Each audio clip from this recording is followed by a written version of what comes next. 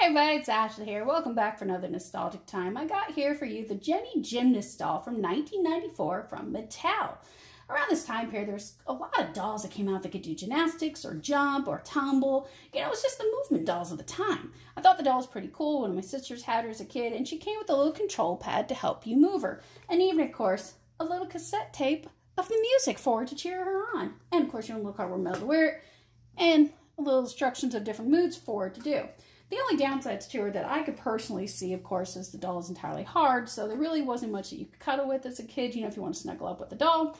And that, of course, it had this long cord attached to it that could constantly get tangled, or even on the back of the box said, please remove for strangulation. I was like, holy cow. But either way, the doll's still pretty cool, and they even came out with another version later on where she had parallel bars. So I'm gonna give you just a little demonstration of her. Most of the time you want to keep this as like on a soft surface or, you know, low flat carpet type or a wood floor. But with this being a glass table under here, I at least put a towel to try to bring that down. And you want to keep it, of course, like I said, as smooth as possible. Now, when you start with the doll, it was recommended to start her on her back. And it takes 3C batteries to do this.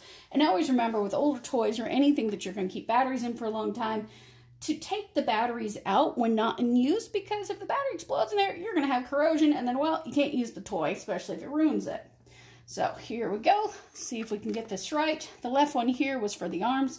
The right one here was for the legs and Doom, of course, both at the same time. But starting out, let's see if we can get her going. There we go. Yep, yep, yep, we got the leg. See if she goes. I'm trying to get her to not be tangled here.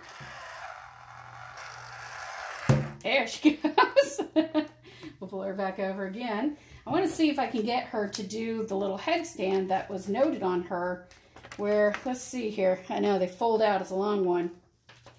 Okay, so get her, you got to get her arms raised up for this. So we'll put her back on, get her arms flat. Actually, they started her this side. Okay. So we're going to do this.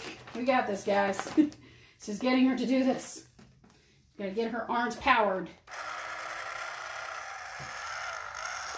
Nope, nope, that just pulls her to again. Gets a little tricky with her.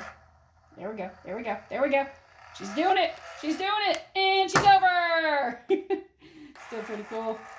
And yet she pulls herself back up with grace. There we go, look at that. So I think that's pretty cool there. But that gives you, of course, a chance to look at the Jennie Gymnast, especially if you had it as a kid. And if not, you know, you can still try her out and have some fun with her. And you can find her on eBay. She ranges right now anywhere between about 50 to $100 depending on the condition that you want her with. And of course, if you want her with the cassette tape, no cassette tape, and with the headband that she has in her hair. And the same if you want her also with her little medal. But check me out, guys. I got a lot more projects coming up for you. Of course, tons of nostalgic time. And don't forget, I got a lot of film stuff coming up for you guys as well. And also some gamer coins. So we're going to have a lot of fun with all the interesting toys and games that go back to the 1910s. And see if you can just relive that childhood and just one more time. And I will catch you guys later.